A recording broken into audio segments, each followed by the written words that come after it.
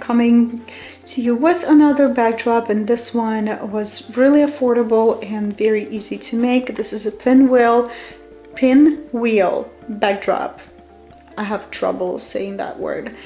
So I bought poster boards, a pack of four poster boards cost me $2.64.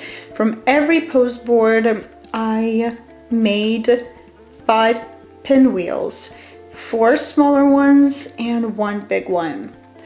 And what I did is I took the opposite colors of the pinwheels.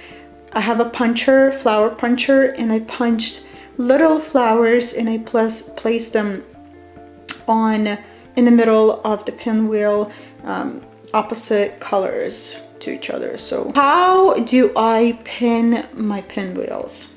For a big pinwheel, I just took one uh, needle over here. I went through uh, the paper and caught the fabric and just pressed and the needle went through the fabric. For my smaller one right here, I used one needle as well. I took a hold of the pearl and um, hold my needle on an angle and I was looking for catching fabric and just press it really hard and it's gonna go through the fabric and your pinwheel is gonna stay in place. So you guys, this is it. This is so easy and cute. I'm gonna try to play with lighting. If you have any questions, comment down below like, share, and subscribe for more videos. I'll see you very soon. Bye-bye.